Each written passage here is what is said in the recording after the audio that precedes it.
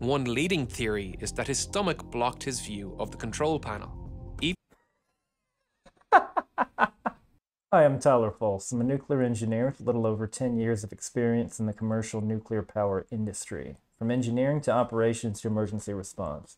I don't claim to know everything there is nuclear, but I can certainly share some knowledge. Today we're going to be looking at a video by Real Engineering called The Uncertain Future of Nuclear Power. Let's see what they have to say. Over the past five decades, nuclear power has prevented the release of 50 gigatons of carbon dioxide. That's equivalent to two years of total global energy generation related emissions. It produces so much, it can offset so much of the uh, fossil fuels, coal, natural gas, a lot of the heavy emitters. Nuclear power is the most powerful tool at our disposal to stop human driven climate change in its tracks. Yet, powerful industrial countries like Germany have turned their back on this technology, rapidly deactivating power plants prematurely. That's really sad to see, and a lot it's just driven by fear and overblown issues like nuclear waste when nuclear waste is really safely stored on site at nuclear power plants. People in the industry, it's not really an issue. Nuclear power, despite its clear climate change fighting potential, carries inherent risks that have hampered political will to invest in the technology. Political risks and perceived risks. As far as actual safety risks, not so much. In order to thrive and help our planet overcome its greatest challenge, nuclear power needs to evolve. This is. Okay. The message needs to evolve. The future of nuclear power. We can't begin to address the solutions of the future without addressing the failures of the past.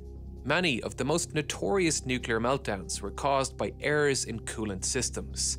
Take the Three Mile Island Errors in coolant systems. Um, Chernobyl, the most infamous one, was about a crazy test and poor design associated with the moderator. So that one not really a coolant thing, but let's see what they have to say. Meltdown incident of 1979. The incident began with a mechanical failure in the plant's cooling system. It all started the secondary loop. So as you see on this drawing right here, it's going to be in this non-nuclear loop. Um, it was an issue with a uh, condensate and feed water system of supplying the secondary or non-nuclear portion. Steam generators stopped receiving water due to a even says so on their graph right there, non, non-nuclear. Um, so the terminology I'm familiar with, when we say coolant system, it's that primary loop right there that he shows when he says reactor build. And this is a pretty good drawing, though. Faulty clogged filter. The loss of water yeah. meant that the reactor. Yeah, the filter, yeah, right, was in the condensate polishing system or con or condensate system where it says blocked. Energy didn't have anywhere to go, raising the temperature of the reactor. As the pressure. So, just a bit of a thing. It it does affect the, the reactor, but just to show you, it affected feed flow to the steam generator, which once a, when you lower the feed flow, which is the coolant part for the uh, for the steam generator primary to secondary heat exchanger, that causes reactor temperature to go up. So this hasn't been an issue with a reactor coolant system, at least not yet. Rose due to the water being boiled, a relief valve opened. A valve designed to only open for 10 seconds. But another fault resulted in the valve staying open, allowing the precious coolant inside the reactor to escape, pushing temperatures even higher. As the core temperature continued to rise, the reactor operators received conflicting information from the control room. The emergency water system that should provide extra water to the cores was blocked. Two days earlier, the plant was closed due to maintenance, and the valves from the emergency coolant were closed. So this emergency coolant, um, in the plant I worked at, we called it auxiliary feed water. So again, we're talking secondary side of the uh, we're talking the secondary loop of the plant, so that was feeding the steam generator.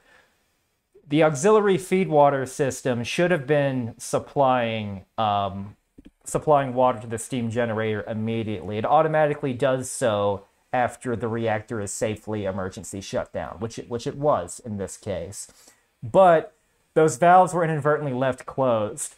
This is what is called a plant status control event. And what that means is when equipment is left in an improper configuration due to human error. So the fact that the operators were not uh, were not even aware of this because that is a normal condition that operators even back then were trained on after a normal reactor trip shows serious flaws with the training of the reactor operators. One thing I would add about Three Mile Island, I'm going to go out on a limb and say there's no, wasn't really that much of a design problem, at least compared to Chernobyl. But I mean, yes, improvements were made, but the big learnings was it was a complete failure by the operations crew. The reactor operators should have known better. Fortunately, they were not reopened when the reactor was restarted. The operator should have noticed that these valves were closed, but Yep. for unknown reasons, he didn't see the warning lights on his control panel. One leading theory is that his stomach blocked his view of the control panel. Even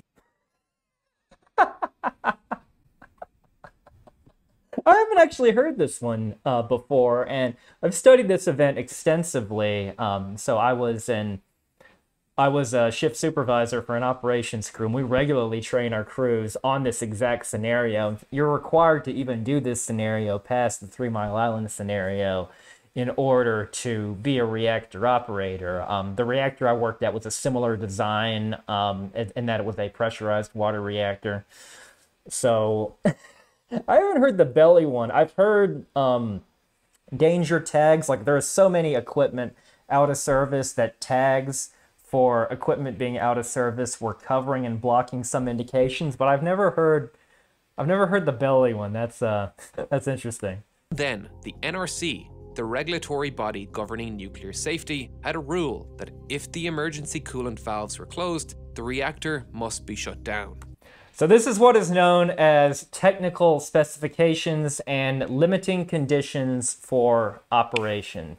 If any sort of safety system, and an auxiliary feed water is an example of a safety system, then is placed out of service, you have a time limit to fix it before, eh, otherwise you can't operate that plant.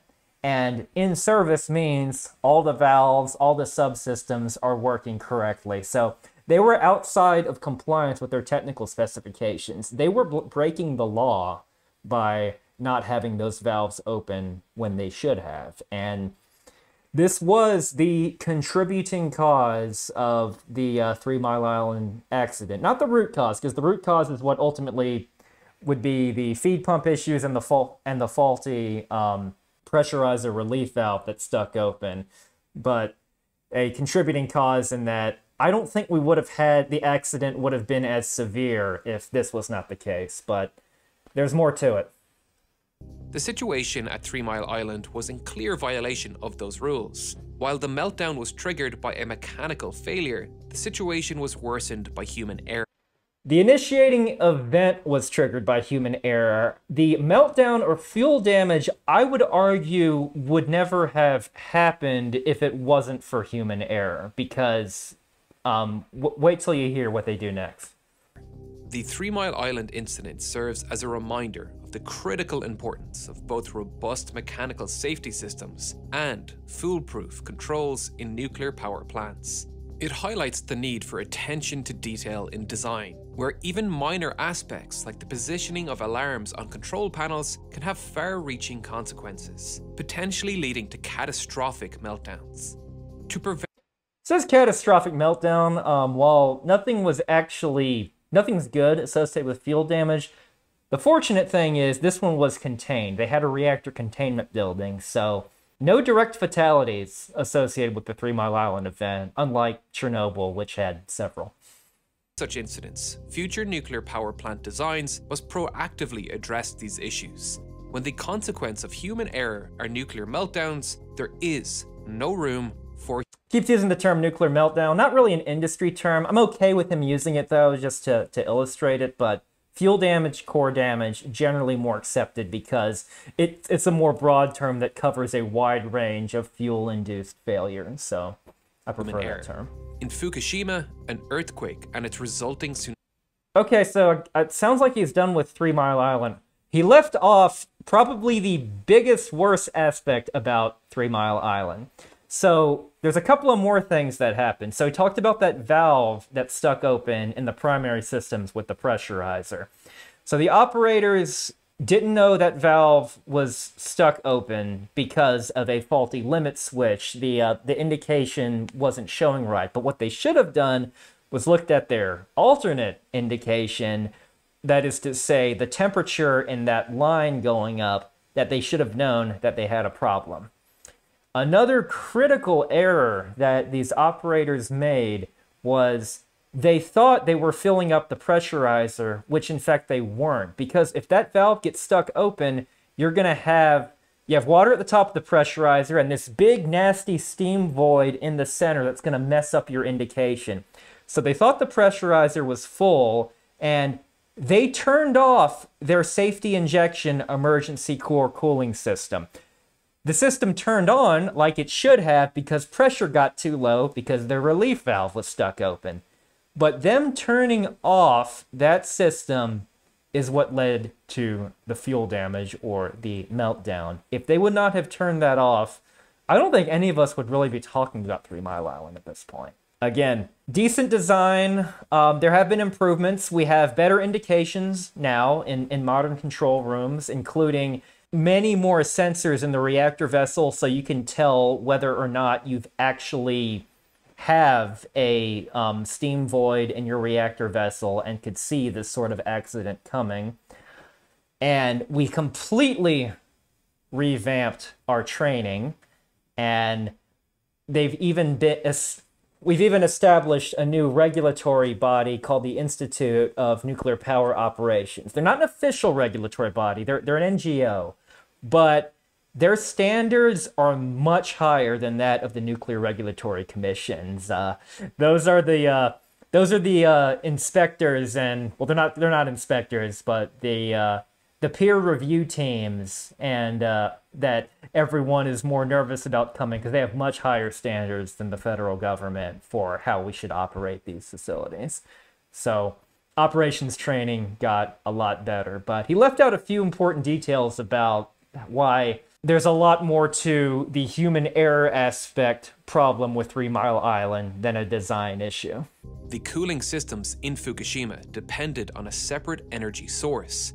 The pumps that were needed to cool the reactors lost power, resulting in a catastrophic meltdown. The plant did have a back keeps using that term catastrophic meltdown. Uh, this one was worse because it affected uh, multiple multiple reactor reactors, and uh, there were um, indeed there were a couple of fatalities associated with the nuclear part of this event, and over 20,000 people actually died as a result of this earthquake and tsunami, which is sad because when most people mention Fukushima, they talk about the nuclear thing rather than how horrific this earthquake and tsunami actually was. But I will agree that this one was was worse than Three Mile Island. System which also failed. This need for external power to cool the reactors was a key disadvantage of this design. Fukushima also highlighted a weakness of current nuclear reactors, the use of water as a coolant. Liquid water is a great conductor of heat and serves as a Weakness of water. All right, I'm going to listen to what he says, but I'm not sure about that. Fantastic cooling agent. However, when control is lost, this water can lead to high pressure steam explosions, spreading radioactive materials across vast distances.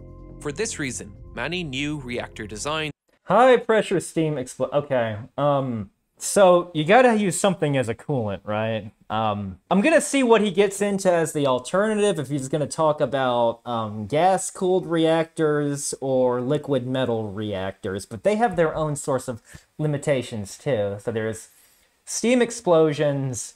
There's hydrogen explosions, which are just more of a function of the fuel cladding than the coolant, though, and that's what that's that's probably the bigger hazard at, at play here, and that is with uh, zir- zirconium reacting with the water and causing hydrogen. So how we protect ourselves against the Fukushima event today is with additional uh, power supplies for our safety systems to remove decay heat. And And the plant I worked at, they were in the form of diesel generators placed on the top of buildings, buildings upwards of 60 feet tall. So the plant I worked at wasn't really vulnerable to tsunamis, but just in case anything that affects the diesels in lower areas, we have them on higher areas. And there are facilities in the US that could bring in additional power supplies, hoses, emergency equipment to respond to a Fukushima type event, the uh, extended loss of AC power event that they could be brought in by helicopter if necessary. So we've definitely modified and get given us a third and fourth string backup systems for our backup systems, for our backup systems, for our primary systems. seek to incorporate passive cooling systems, which require no external power source. One thing just to point out the visuals he's been using, um, they've all been like the secondary non-nuclear part of the plant. Like he just showed a turbine bit, a turbine building. Now he's showing uh, heat exchangers. So haven't really seen any of the nuclear stuff yet in this video. And aim to replace water with safer cooling mediums. Before discussing these future designs, there is another large problem facing nuclear energy. It's waste. Light water reactors operate in what is called an open fuel cycle. In this cycle, the uranium gets mined, processed, enriched, used, and then stored, leaving us with barrels of radioactive waste that governments have been struggling to deal with. In the US, it's not really stored in barrels. Nuclear fuel is stored off-site in dry cask storage containers, which are completely safe. Um, these things can resist direct strikes with missiles, explosives, severe weather, and they can be placed on a bed on outside on a pad for decades, if not centuries. That's what we're doing on at the at the nuclear power plant that I worked at as, well as many others. So, and th this is the worst aspect, the spent fuel, the, the high level waste associated with nuclear power plants. Here's what it looks like inside one. Many, many layers uh, with these lids walled off by concrete, kept cooled, no risk of opening one of these things. Not sure what he means when he says it's risky or unsafe there have been plans to create deep geological storage facilities 660 meters below Yucca Mountain. This has been the plan since the 1980s, but hasn't been put into action. So, nuclear fuel is being stored in dangerous interim storage facilities. Dude, they're not they're not dangerous. what is dangerous about these? They're they're super they're the most secure. I I don't I don't get it scattered around the country. As is the case with most nuclear energy projects, it has faced delays and a lack of funding. And the barrels, so barrels are for the more low-level uh, stuff. Barrels usually involves like protective clothing that people wear in uh, contaminated areas. And the lower stuff can either be cleaned, like just by doing laundry, basically, or you can store them in temporary on-site things that you just need to wait a few days, months to for it to decay away. But a lot of it can be can be cleaned.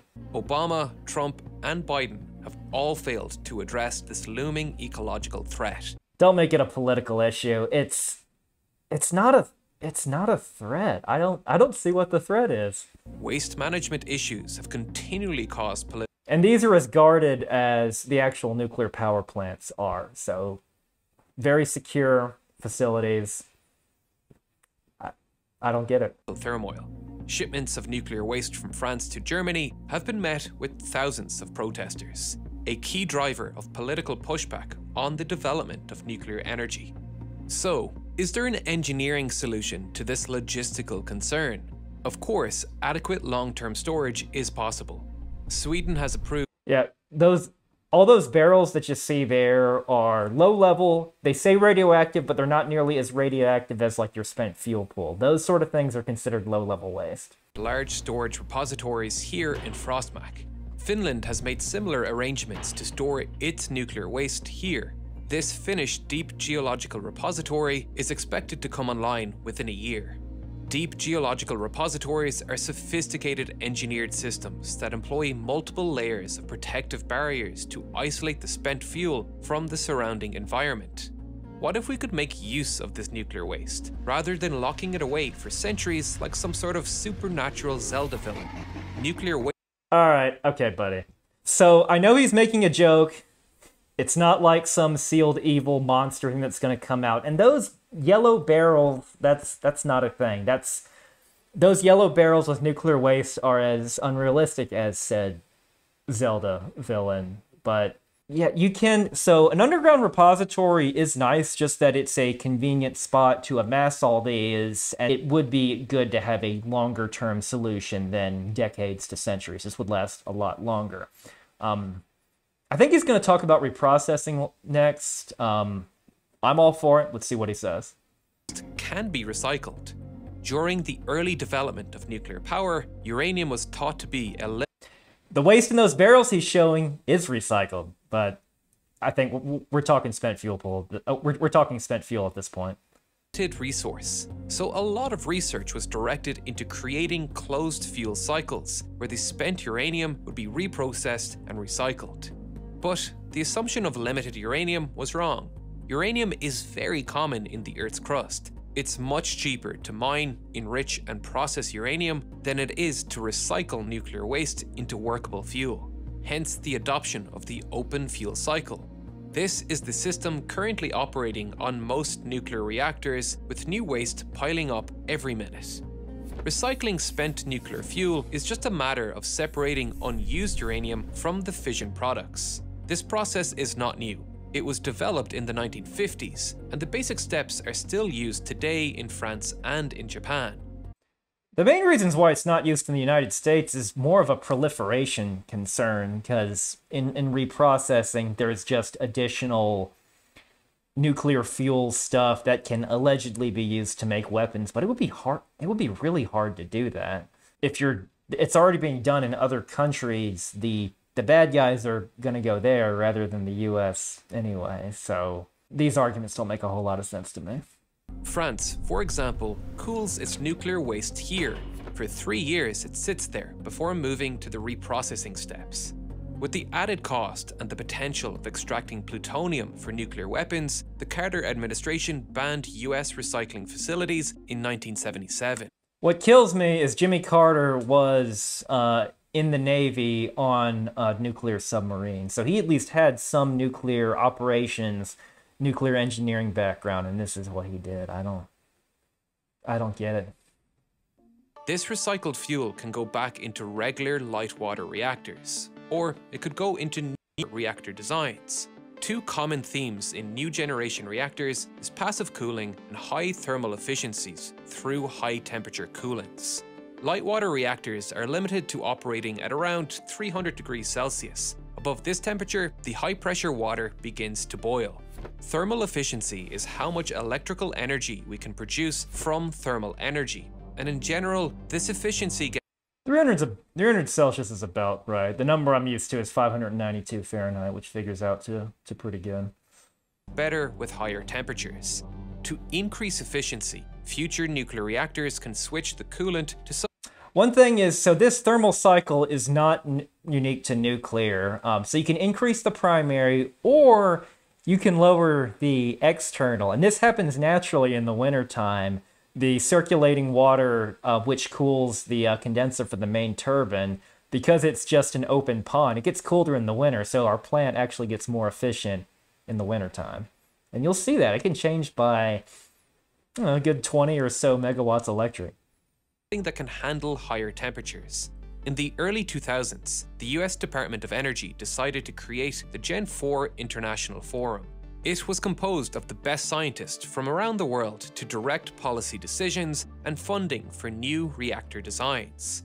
They chose a total of six new reactor technologies and coined them Generation 4 reactors. Instead of using water as a coolant, Gen 4 reactors can use gas, supercritical water, molten salts, molten lead, or sodium to increase the operating temperature of the reactor. This increase in efficiency will result in less nuclear waste per gigawatt generated. Okay, per per gigawatt. So just just being increased efficiency. Again, you could you could you could technically also throw some ice cubes ice cubes in your cooling pond, which would give you the same result, which is interesting. These designs also aim to increase passive cooling capabilities and limit nuclear proliferation risks. One of the most interesting prospects is the molten salt reactor, or limit proliferation. So I think I'll talk a bit more about the salt ones in a bit, but I would they might actually have a higher risk of proliferation. MSR. In these reactors, the coolant and the radioactive fissile material are all combined. The basic premise of these reactors was tested and experimented with during the 1960s at the Oak Ridge National Laboratory. In a molten salt reactor, the fuel consists of nuclear fuel, such as uranium or thorium, dissolved in a molten salt mixture. The salts typically used are fluorides or chlorides, which have high melting points and good heat transfer properties. The fuel salt circulates through the reactor core, absorbing heat generated by the nuclear fission.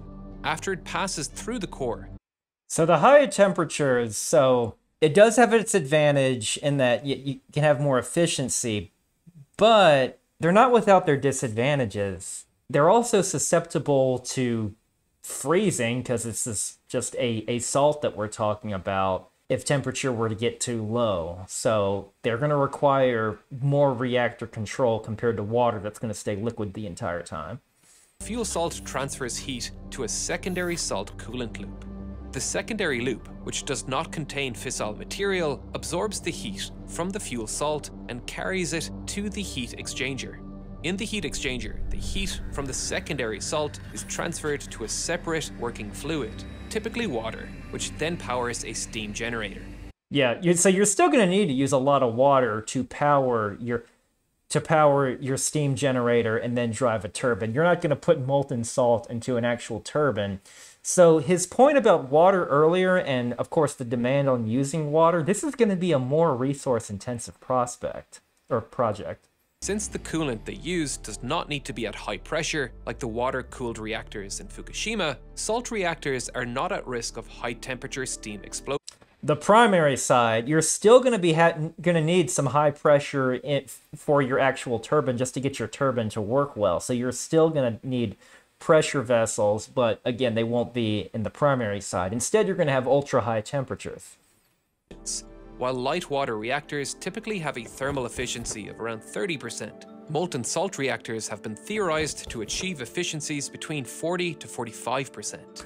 I question that. So first off, 1% is ginormous for nuclear power plants. Um, we spent um, over $50 million for a modification to a to one of our turbines to improve efficiency by 1%. The payback period was reasonable. So, yeah, 1% is huge. But 40 to 45%, we're approaching like your ideal or Carnot cycle efficiency here, just talking about the temperature difference. And you know there's going to be losses associated with the molten salt having another heat exchange system to, to translate that heat to water in your turbine um, system. So I think that is very, very optimistic. I still think they'll, they'll probably still be more of have a greater thermal efficiency than light water reactors, but for I don't think we're going to see 40%. Molten salt reactors also have the potential for inline fuel processing, which means that while the reactor is operating, the fuel salt can be continuously reprocessed to remove fission products and add new fuel, meaning the machine can run continuously without stopping for refueling. So, CANDU reactors, which are a heavy water reactor, they operate the same way. Um, you can I joke with uh, some of the operators I know they're uh, rotisserie style uh, nuclear power, where you can continuously refuel, but you're still going to have to shut down the plant to repair things in the turbine building because turbines, heat exchangers still need to be replaced. So keeping it running 24/7, you're still probably going to have to have to shut it down on the order of every two to three years or so, even if it's even if it's not for refueling purposes, just to uh, to do all that maintenance. At first glance, you'll notice that the system needs not one, but two pumps. However, these reactors can safely cool down even when power is lost to these pumps. The salt's chemical properties naturally inhibit further nuclear fission as temperatures increase. The exact mechanisms of this depend on the salt's composition, but generally, as the molten salt gets hotter, it expands. This expansion decreases the volume of fuel in the core of the reactors, and therefore decreases the rate of nuclear fission, meaning the hotter it gets, the less fission occurs, helping prevent that's true in the case of light water reactors as well. You heat up the reactor coolant, it's going to, reactivity is going to go down too. And also, I talked about voids earlier. You increase the number of voids, the reactor is going to shut itself down in that case too, because water also moderates the neutrons. And if you're not moderating them, they're not going to cause fission. So, this is so this is good. This is encouraging, but it's not it's not an advantage it has over light water reactors. Nuclear meltdown. A freeze plug is also located at the bottom of the liquid salt pool. The freeze plug is designed to melt at a particular temperature. In the event of an uncontrolled rise in temperature, the plug will melt and allow the fuel and molten salt to passively drain into cooled dump tanks. So that's an example of a passive uh, safety system freeze plug melts, it drops there. So cool.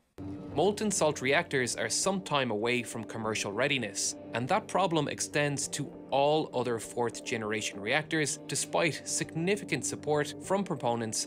Molten salt, so they, they have some extra challenges as well. Um, so the waste associated from that, less in volume, but it's weird because it's got this frozen molten salt stuff that we don't really know what to do with yet. So the waste, I would say, is an even higher level than your typical spent fuel than you would get in a light water reactor.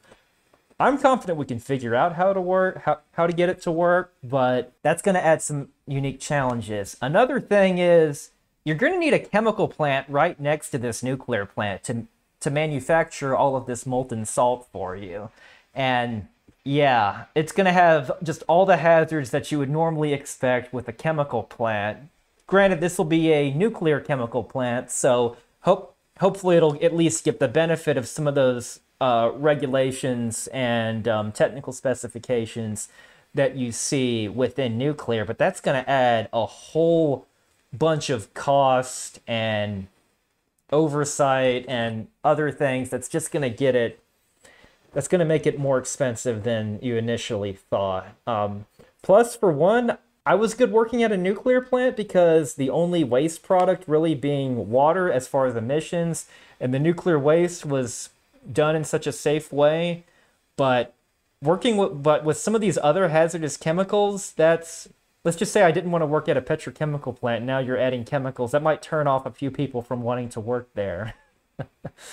and so not against molten salt reactors. I'm all for new technology, new um, innovations, but it's not without challenges. And I don't, I don't think it's better than the current uh, light water reactor designs and the advanced light water reactor designs that are coming out as well. I wonder if he's going to talk more about some of those.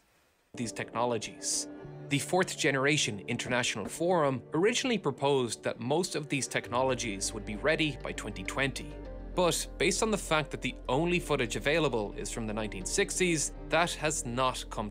No, it's it's really unfortunate, but I, I would really like to see more stuff. And there's such a gap in technology because a lot of this, like you said, is from the 60s and 70s. Uh, salt reactors, um, gas cooled reactors, uh, fast neutron reactors, breeder reactors. It just all got shut down so hard with with public opinion. If you think of where we'd be at now if things would have continued to develop the way they did in the 1960s and 70s, then man, it would be so cool. Fruition. Lack of funding and competition from low-cost solar and wind has held back development of these fourth-generation technologies. Reason why solar and wind is low cost is because of the heavy subsidies they get. This problem is only going to continue until nuclear energy addresses its largest problem cost. Since 2003, MIT has been conducting studies specifically aimed at guiding researchers and policymakers towards a viable future for nuclear energy. In their latest report, they stated that the utmost importance must be given to lowering the cost of nuclear plants. And thus, the most promising ideas seek to address these cost issues. While deep geological repositories, uranium reprocessing, and Gen 4 reactors had the brunt of work done during the 1900s, a new design concept started. the 1900s, yeah. Technically, yeah, but I'm just picturing, like, when you said that, I'm picturing in, like, 1908, people uh, splitting atoms with really small hammers or something. That gave me a bit of a chuckle. Emerge in the early 2000s. Small modular reactors, or SMRs for short, the goal of this design to is to miniaturize reactors and convert them into small, standardized modules that can be fabricated in factories. This standardization could not only decrease costs, but inherently increases their reliability and safety as complexity is removed from the manufacturing and assembly while decreasing on-site construction costs. Couple of other advantages. Uh, full-scale nuclear reactors can't go in every single situation because you you just need a good bit of physical space to uh, to house them. So you could have like small modular reactors in a mountainous region or a more desert region that you don't need as large of uh, infrastructure, water sources, that sort of stuff to uh, to keep them going. So you can have them in much smaller communities, and that's just really cool. Small modular reactors work in much the same way as regular nuclear plants, but with smaller individual reactors that can work in expandable modules, gradually increasing the output of a power plant with cheaper factory made modules, rather than building one large custom designed nuclear power plant with 1000 megawatts of electricity capacity. Making the reactor smaller also comes with the big benefit of passive safety. A smaller reactor has more surface area for heat transfer to occur in proportion to the volume of material that needs Good old square cube law. Meaning, natural convection cycles are sufficient to cool the reactor. As the coolant is heated, it rises due to its lower density, establishing a natural flow pattern that drives the cooling process. SMRs are not defined as one type of nuclear reactor or design, Rather, they are a family of designs that take advantage of the miniaturization of the technology. Because just like anything else, the same was true with talking about uh, liquid metal reactors. This, no one SMR is like the other. Some use Gen 4 reactors, others use light water reactors. Currently, over 70 commercial small modular reactors are being developed. NuScale may be the most promising of all these companies. Their most recent 77 megawatt they're approved by the Nuclear Regulatory Commission. That is a major, major step. And I already know a few investors that, that are interested in these.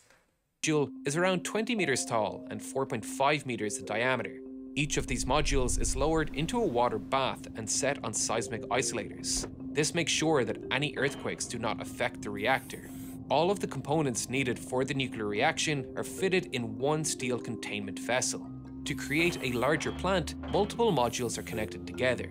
If power to the reactor is lost, control rods fall automatically in a gravity-driven mechanism, and the containment vessel seals its valves to isolate itself. The water from the core is boiled off as steam, but yeah, beautiful, pure passive safety. Uh, pretty good description of that too. Inside the containment vessel, transferring heat with the outside cooling pool, the steam condenses and pools at the bottom of the reactor vessel, creating a natural circulation of cooling water inside the steel containment vessel. Within seconds, the reactor operators call that process uh, burp and slurp.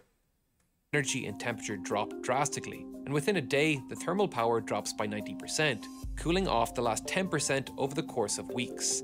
And while this all sounds great, we are nowhere near commercial deployment. NuScale is by far the most ahead, but have only managed to create a. I'd say we're the closest we've ever been. These are far, far closer than that than those liquid metal reactors that, we were talking about earlier. I could, I could actually see these happening within a few years. Third scale model of their power plant. Other countries like Russia, China, France, and South Korea have also invested in creating SMR technologies, but have struggled to find utility customers. Without potential customers, these startups will always fail in a capitalist system. Even NuScale has been dropped by some utility There's a few that I've that I've seen. Let's let's see what he says. clients as their prices seem to have exceeded expectations. This poses a massive challenge So I saw that went up so much since 2017. They are not immune to the same building costs of literally everything else that has happened after COVID. Um, I've I've noticed that with commercial construction. I've noticed that for things like projects just around the house have gone up by that 50 to 75% margin. So it has nothing to do with the fact that it's nuclear. It's everything's more expensive. Its competitors, wind and solar, are more expensive now too. companies that rely on large-scale, standardized factories to achieve their key market advantage. To build the factory, they need customers, but they can't get customers without the factory. Thousands of reactors will need to be built before economies of scale can kick in, Uh, uh, not thousands. Um, several. Do- I would say dozens, but thousands for and so economies of scale isn't like an on or off switch. You'll you'll gradually see things as they go. As someone who's managed large capital projects associated with nuclear before, um, you'll notice it by number two, number three, and then you'll continue to refine that. And I've seen savings of granted they're they're logarithmic they um there's a bit of diminishing returns but i've seen them upwards of 10% for iteration so just like what we've seen with wind and solar they were so so expensive back in like the mid 2000s what 2010 that sort of thing and now they're being deployed a lot more we just need this technology to mature And in reality, the exact reason traditional nuclear reactors produce so much electricity is to benefit from the economies of scale. Building a 1000 megawatt reactor reduces the cost per megawatt, and that's the most important True. metric in the electricity market. That's how you get grid operators to buy your electricity by making it cheaper.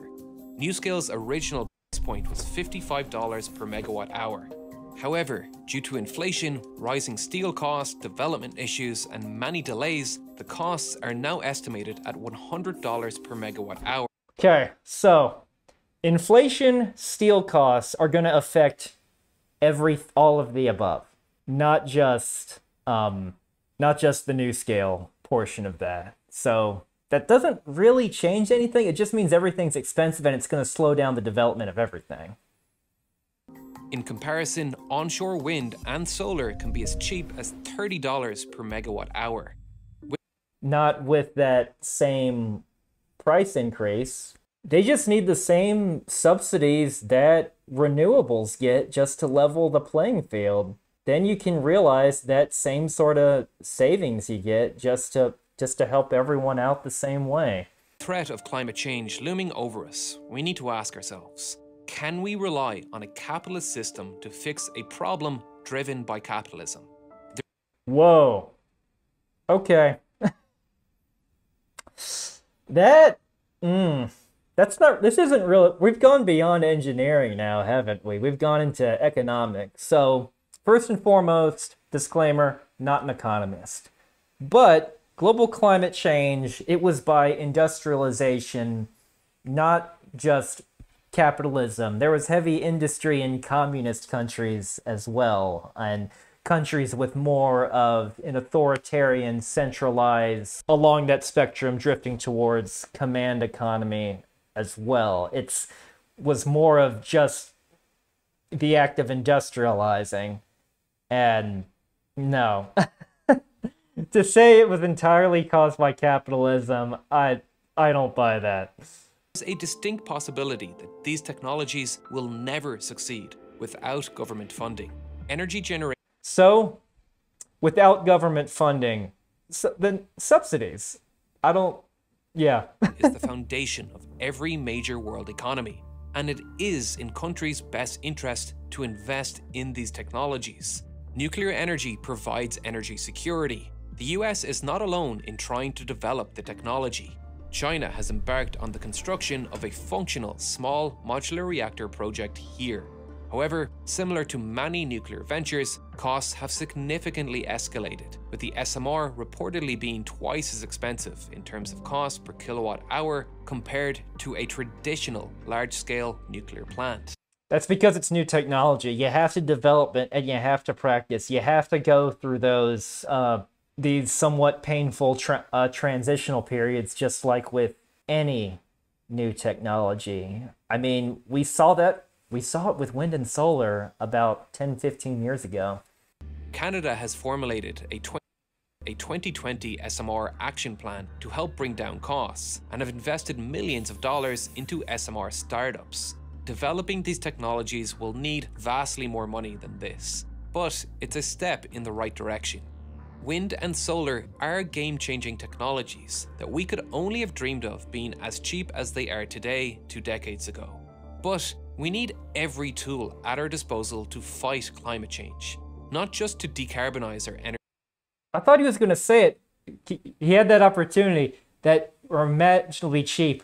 I mean, we could be that way 20 years from now with putting the right steps and I don't actually think it's going to take 20 years, but um, towards those investments, it's just like compounding interest associated with anything else. What we do, the knowledge we gain, the manufacturing um, skills that we gain.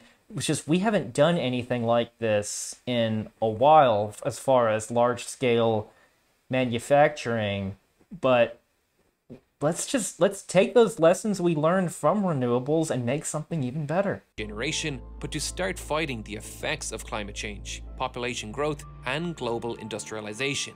From increasing demand for air conditioning, water scarcity driving the need for energy intensive water desalination, to last ditch efforts to reverse climate change with carbon capture.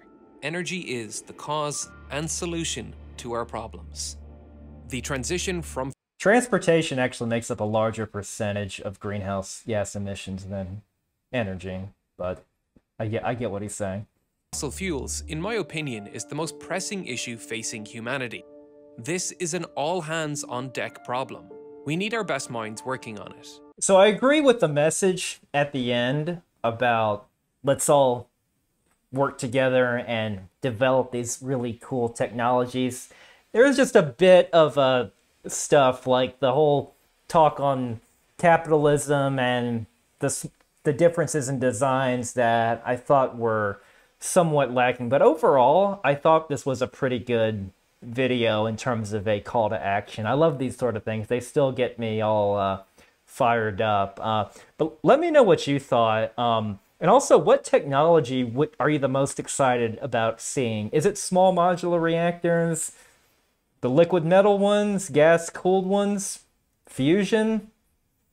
Let me know what you thought about that and what, what you think are the most exciting ones that you'd like to see in the near future. Again, if you like new, exciting nuclear technology, please uh, join me on my journey to a clean, sustainable nuclear energy future by liking, subscribing, and commenting. Thank you very much. I'll see you next time.